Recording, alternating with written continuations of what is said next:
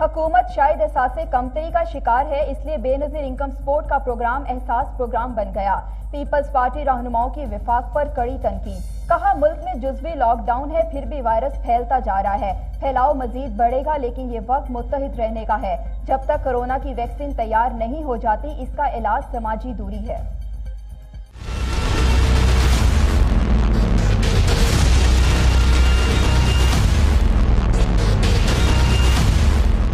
चलिए, हमने का फ़र्क नहीं पड़ता, जहाँ से भी हो, लोगों तक, मुंतकिल हो। वो बेनजीर इनकम सपोर्ट प्रोग्राम है, सबको मालूम है। उसका भी आपने नाम बदल दिया, आपको एहसास नहीं आया, शायद एहसास कमतरी का शिकार है।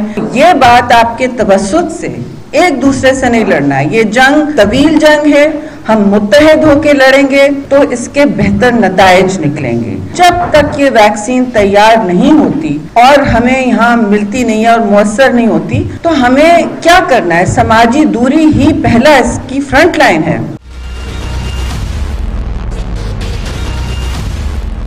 ये कोई मामूली सिचुएशन नहीं है, आम सिचुएशन ये गैर मामूली सिचुएशन है. इस पर जो फैसला लिया जाए, इस दौरान जो एक्शन उठाया जाए, जो काम किया जाए, उसमें ज़्यादा से ज़्यादा कंसेंसिस डेवलप होना चाहिए।